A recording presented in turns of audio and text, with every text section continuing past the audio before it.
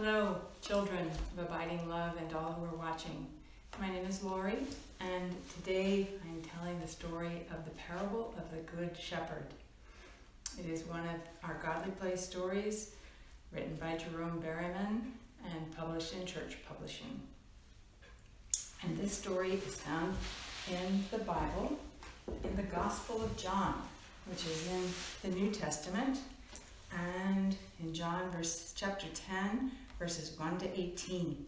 So whenever you would like to read this story, find it in the Bible or have someone read it to you, that is where you can go.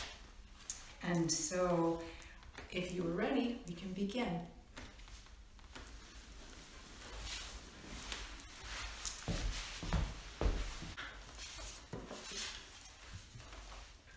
This is a very gold box.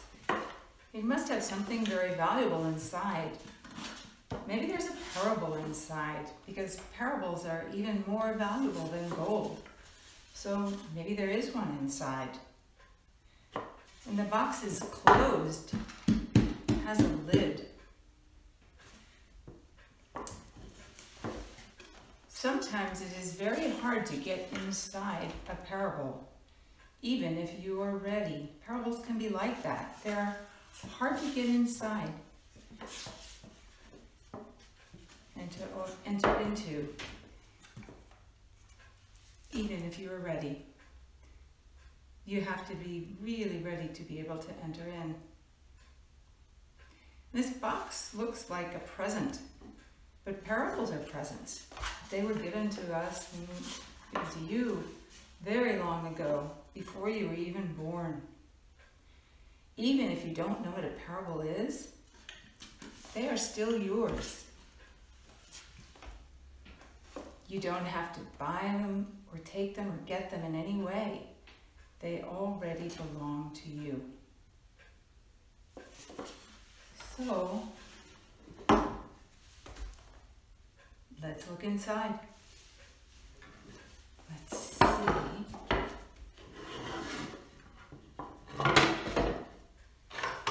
I wonder what this could really be. It's very green. It is all green. There's so much green and nothing but green here. It could be, I wonder, like a those things that frogs sit on at a pond. Or maybe the top of a big tree. Or the leaf of a huge giant tree. It'd have to be very tall. It's a cloth and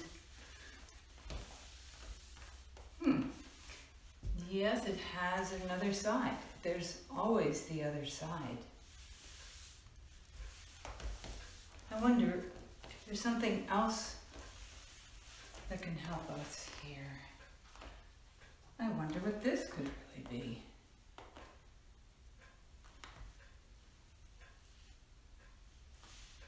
I wonder if it's a place you could look through to the other side, or if it's something you can look into and see your face. Huh. Oh, and look. There's no light at all in these. I wonder what they could be. What could be so deep or so hard that no light can get in?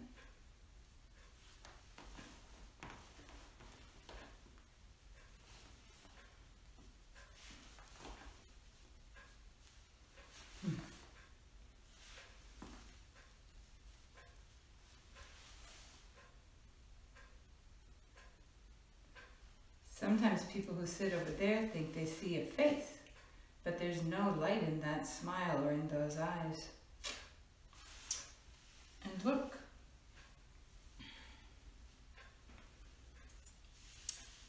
What could this be? Maybe a path? A stick? It's not a rubber band. And there's another. So now,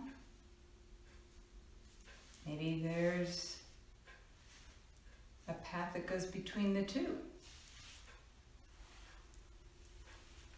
And now, ooh, it's like a the football thing goalpost. Or a bridge between the two paths. And now it's like closed in, like there's an inside and an outside, so that, hmm, we could make a gate so that the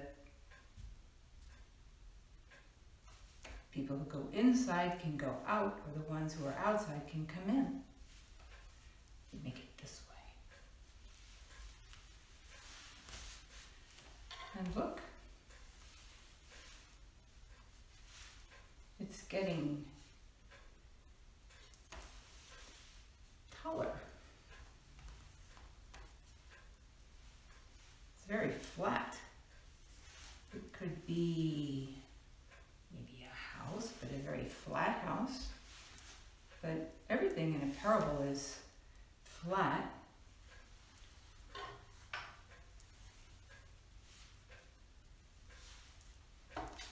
Hmm.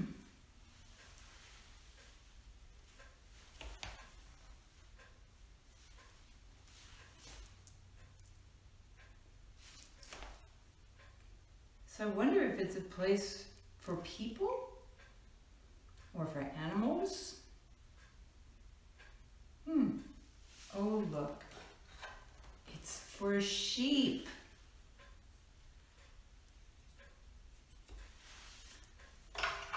I wonder how many.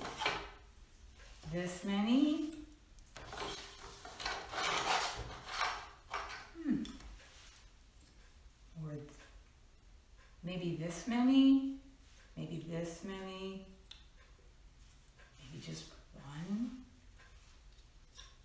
Or maybe all of them? Hmm.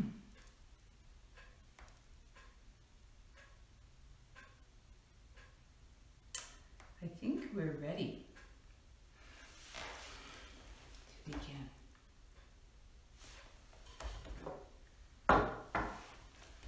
Once there was someone who said such amazing things and did such wonderful things that people followed him.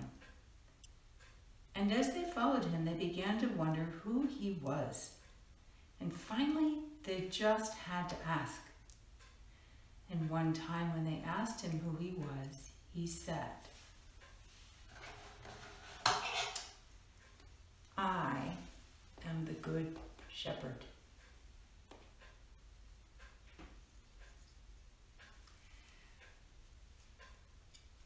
I know each one of my sheep by name.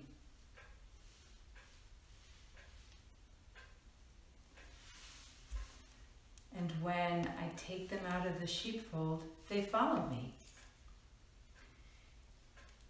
And I lead them to the good green grass.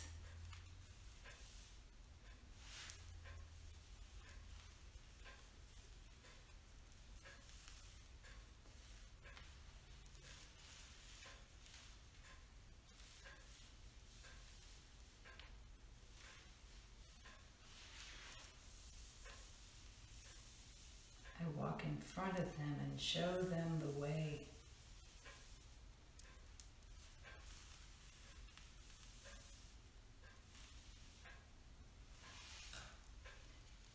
And lead them to cool, clean, fresh water.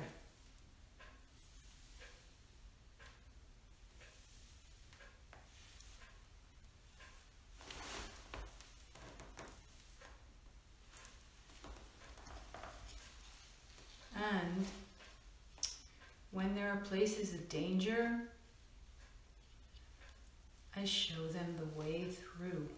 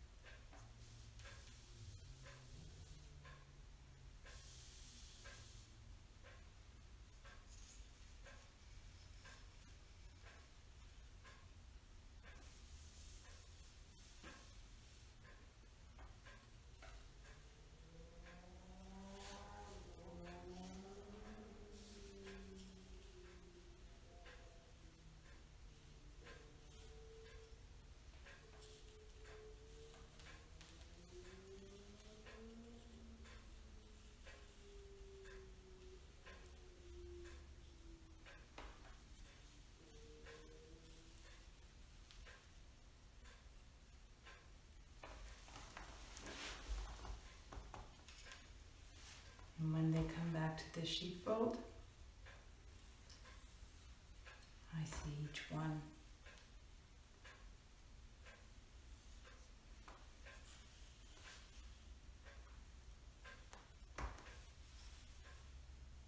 And if one of my sheep is missing, I would go anywhere to look for it. Through to the great green grass, to the cool clear water, and even to the places of danger. And when I find the lost sheep, I pick it up, and even if it is heavy, I put it on my shoulder and I carry it back to the sheepfold.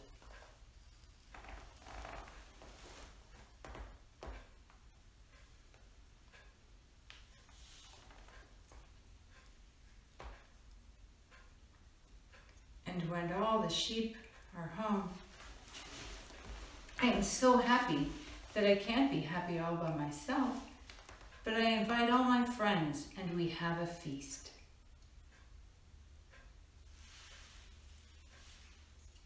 Now,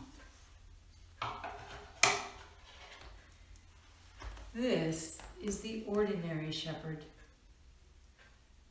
And when the ordinary shepherd takes the sheep out of the sheepfold, he doesn't show them the way. The sheep wander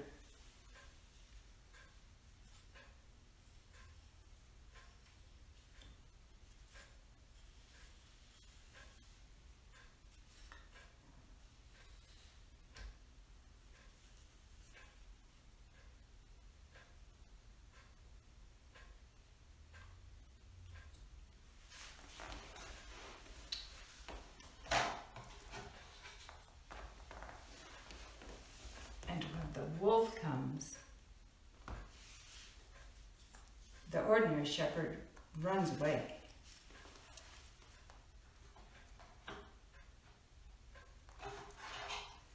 But the good shepherd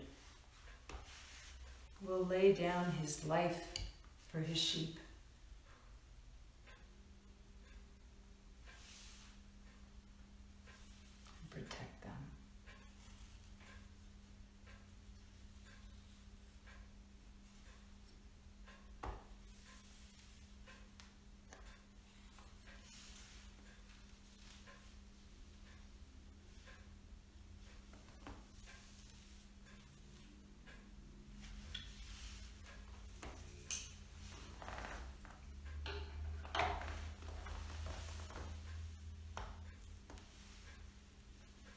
Now I wonder,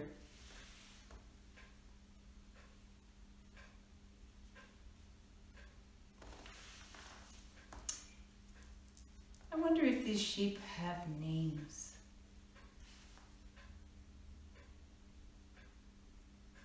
I wonder if the sheep are happy in this place.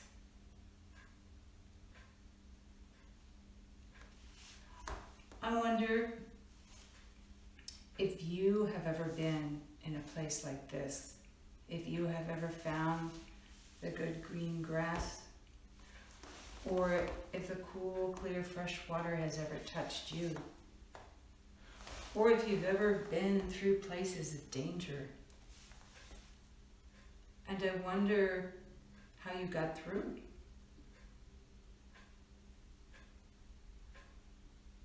And I wonder the Good Shepherd has ever called your name.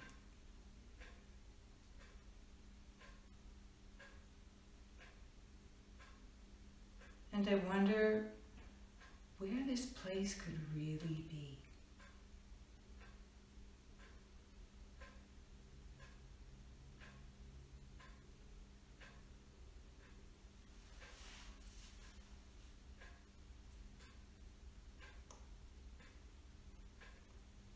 so we can put away the pieces of the story.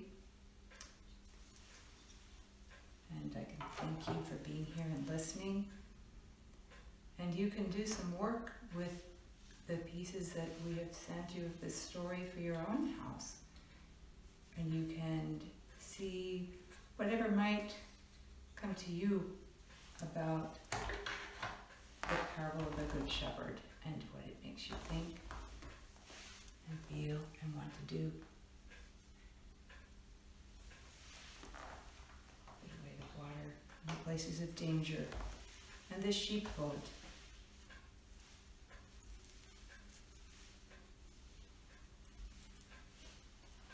And the grass.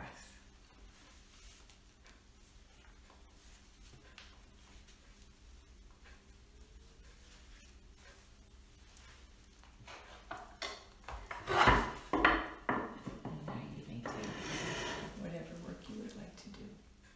Thank you for being here and for listening.